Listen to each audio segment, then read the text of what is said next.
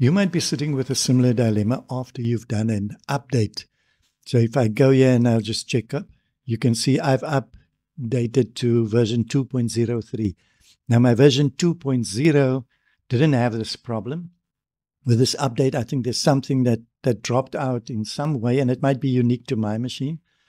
Uh, all the kind of backend configuration files. What I mean is I'm going to show you, yeah, if you go to File and I say New, when it comes up here, I can see these categories here. And if you don't see the categories, you can click down here and just click there.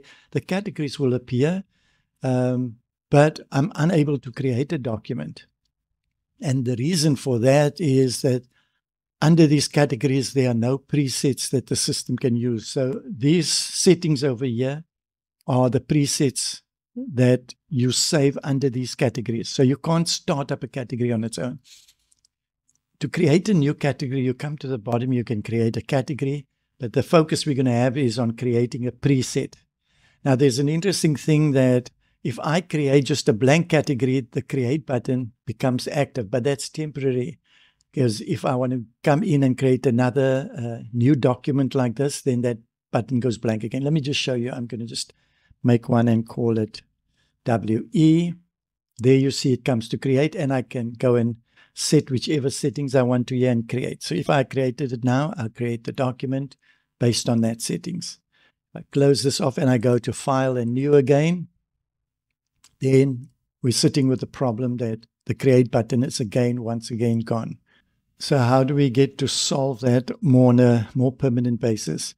Okay, I'm going to just remove this because I don't need that. That was just for example. I thought that probably these configuration settings of the presets would be in a configuration file. Um, I went looking and came across in the users section under uh, mine is registered under Rory. Yours would be unique to yourself. There's the dot affinity if we go in there. Because when I have any modifications in these file configuration files, it permeates across all three applications, Designer, Photo, and, Publisher. So most likely I would see it that it would come from the common area. So what's in the common area applies to all three applications. So go in here and under users, this is where I see it's got this dot propcol extension. And I assume this would be the, the kind of presets in here. What I did was reinstalled version 2.0 and then all these um, presets filtered in here. I copied this file, the doc preset file, which I assume has all those presets in, and then reinstalled the version 2.03 and copied it over this one. And in my case, it didn't solve it. Um, I thought if I had taken that previous configuration file, it might have solved it. I might be missing out on something. So, uh, I haven't tested it far beyond that. What I'm focused on is trying to get this thing to start working. Um, so what I did was came back in here and I just created a preset. And it's a bit of a tedious process because now you're going to create your own presets. But I usually use maybe about five or six of them. So I won't go create presets for all of these categories.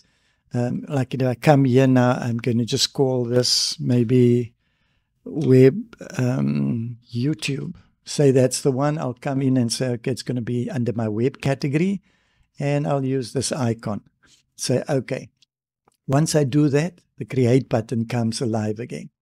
But if I go out now, contrary to how the other one worked, if I come back and I say new, you're going to see there doesn't by default select it. If I tap on it, the create button becomes live. Okay. All the other stuff is still the same. So now I can go and maybe just add another one that I'm going to go to, let's call this maybe A4 page. And that's for print section. Okay. And yeah, I could go and, you know, define whether I want to include margins and all that, the usual. But I'm going to make that there now. And then I could create, but I'm going to just go out and show you. If I come back in, um, I have those two. And if I select there, I can create and create.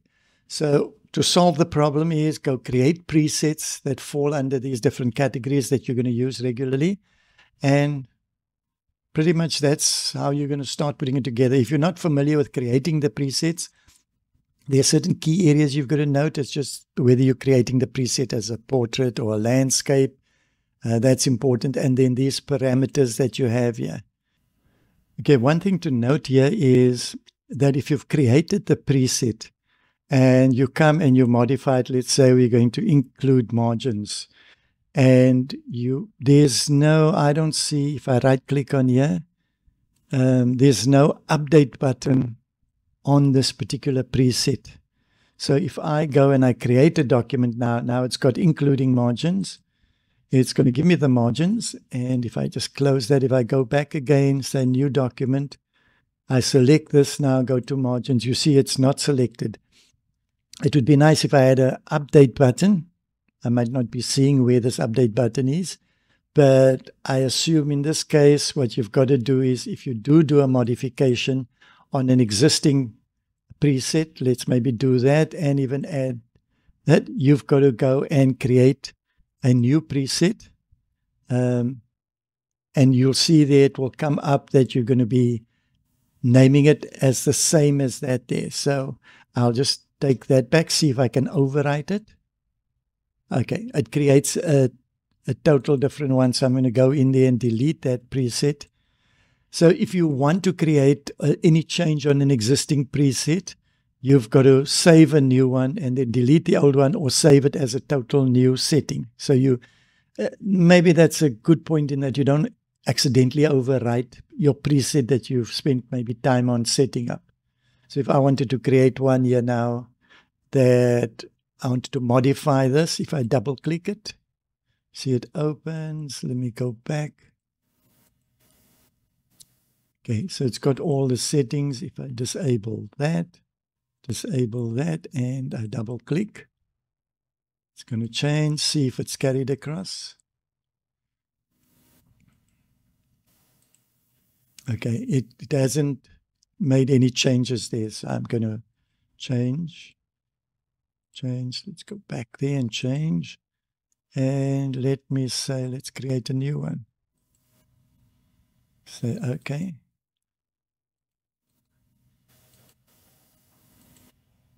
And then I can just rename that one, take away the little area there. Okay, so there's no update on it. You've got to override it or create a new one and delete the old one.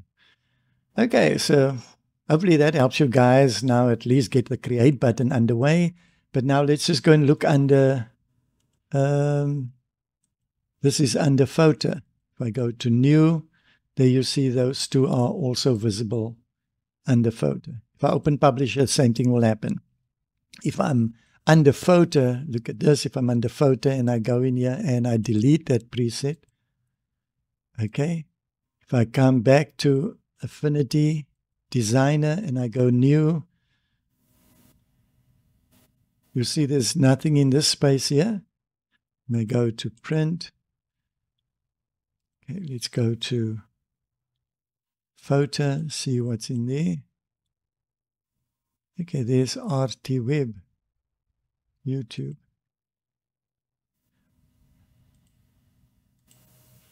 Nothing over here, so I possibly see if I restart it.